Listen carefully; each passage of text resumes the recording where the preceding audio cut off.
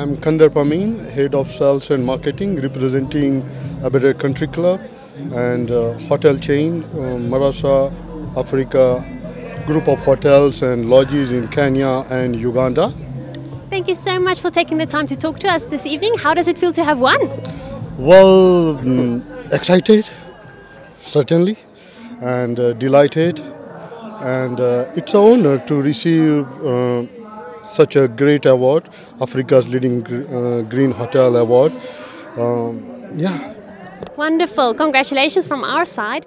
With this award that you won, is the green initiatives that you do. Tell us a little bit more about that. Okay, uh, Africa, I'm sorry, Aberdare Country Club uh, is a 1,300 acre uh, private game sanctuary. So obviously, it is uh, important for us to uh, sustain the uh, green environment. We use recycled water to keep our garden and our sanctuary green as always. We went even further to ensure that we buy only eco-friendly product.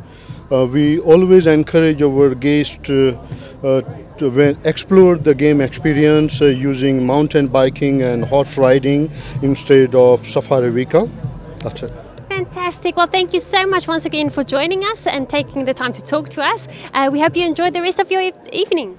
Thank you. You Thank too. you very much.